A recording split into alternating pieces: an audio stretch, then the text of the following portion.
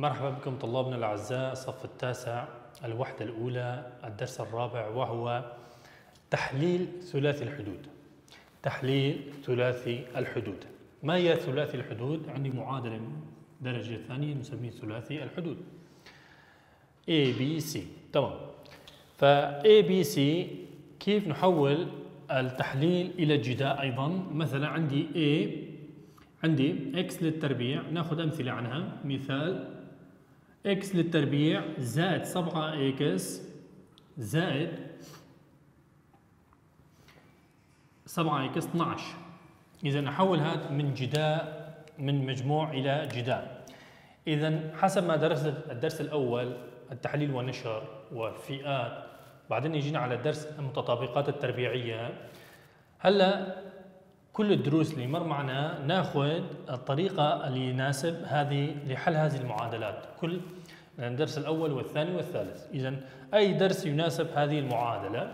نقول نجيب عددين أو ناخذ عددين يكون جداؤهما جداؤهما 12 وجمعهما يكون 7 كيف؟ يعني أجي آه، نقوم برسم القوس يساوي x في x عبارة عن x للتربيع.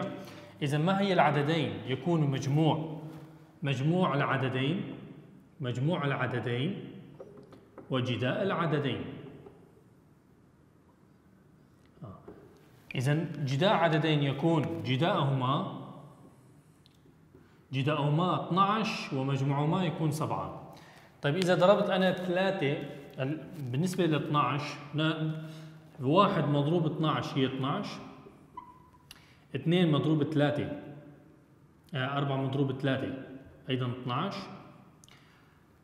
6 مضروبة 2 أيضا هي 12 إذا من حلول اللي عندنا أول شيء راح يكون 6 في 2 أيضا في 12 إذا جداء عددين هي 6 مضروب 2 أيضا عندي 12 طيب بدنا نجمع نجمع العددين. مجموع العددين لازم يكون 7 هلا إذا جمعنا 2 مع 6 يطلع معي 8 وإذا جمعنا 3 مع 7 3 مع 4 يطلع معي 7 وإذا ضربنا مع بعض إذا جمعهم يساوي 4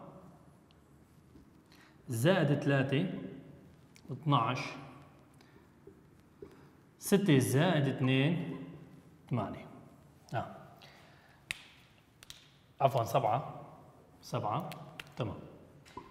فنجي ونقول اذا 3 و4 جمعهما 7 وضربهما 12 طيب العدد الستة إذا ضربنا مع بعض أيضا يطلع 12 ولكن جمعهما يطلع 8 فنحن حسب المثال نريد المجموع يكون 7 والجداء يكون 12 إذا حسب المثال إذا نلاحظ عزيزي الطالب أنه أكثر من العددين إذا ضربناهم مع بعض يطلع معي 12 ولكن جمعهم راح يكون آه آه إذا جمعهم يختلف راح يكون السابع 8 7 13 إذا إذا لا إذا نحن نريد السبعة.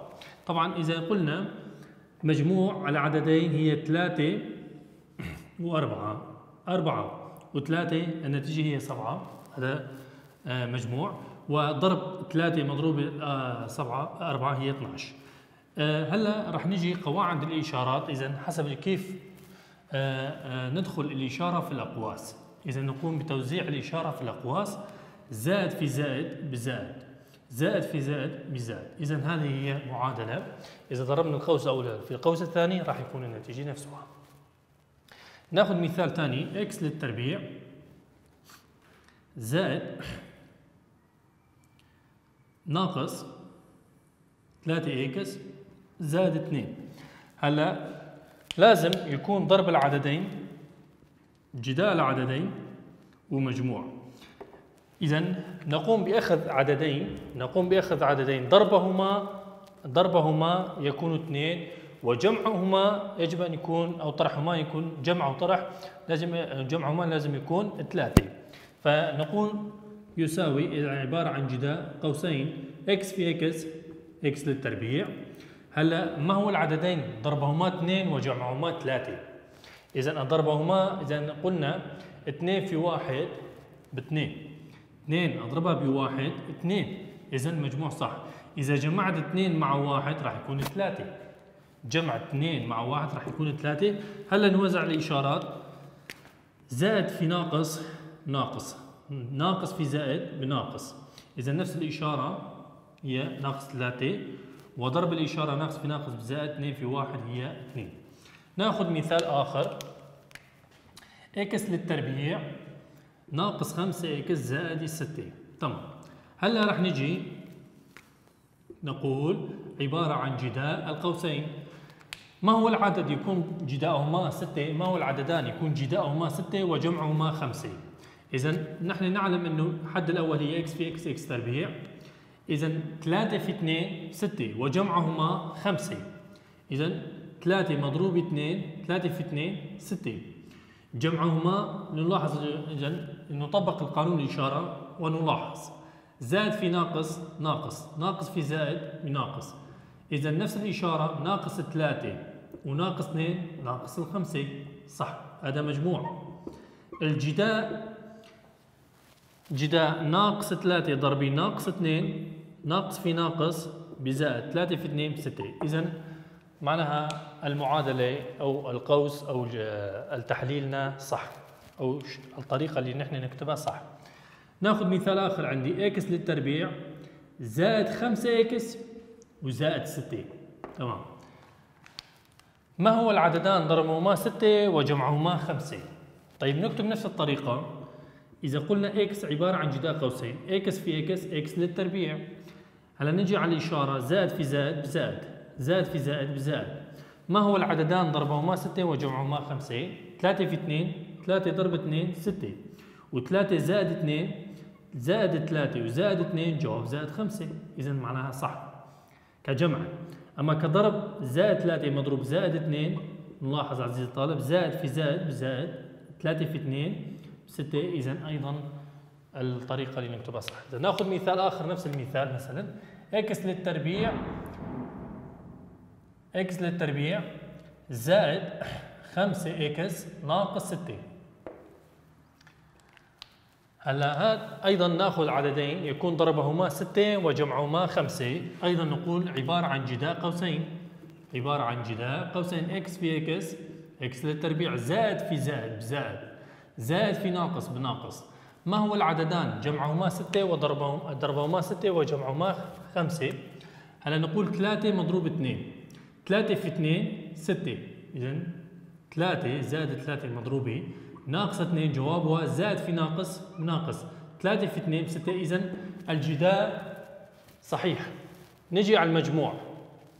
هلا زائد 3 وناقص 2 جواب راح يكون زائد 1 إذا معناتها اختلفنا إذا العددان المجموع ما وجدهما يكون زائد 5 وزائد ناقص 6 إذا غير صحيح. 3 و2 غير صحيح.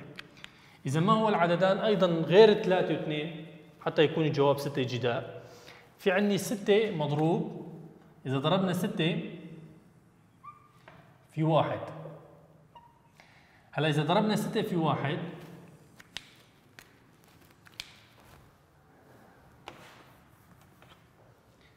تمام هلا إذا ضربت الستة زائد ستة مضروبة ناقص واحد الجواب راح يكون ناقص ستة. إذا صح الجداء صح.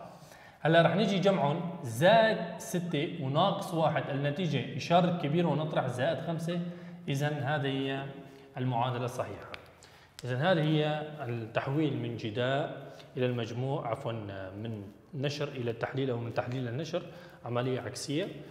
آه، حتى يكون هذا نسميه العملية اللي نحن ندرسها. هي عملية التحليل. قمنا بالنشر وإذا طلبوا من النشر طبعا يكون عندي قوس جاهز فأحولها إلى التحليل.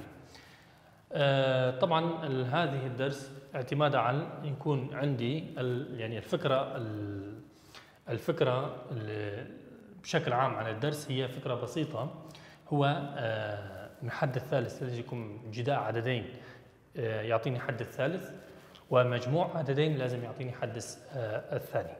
اذا جداء العددين يكون الحد الثالث ومجموع عددين يجب أن يكون الحد الثاني حتى يكون النتيجة صحيحة. وشكرا.